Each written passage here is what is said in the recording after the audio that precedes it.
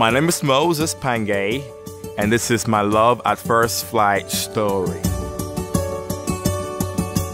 Many years ago, when I was, I would say about five years old, maybe six, when my mom took me to a commercial airport, just seeing a jumbo jet, you know, coming down on that final approach, I was like, Mom, I'm going to be a pilot. And now I am a pilot.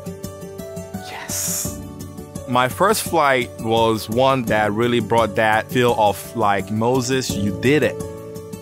I joined the flying club because flying.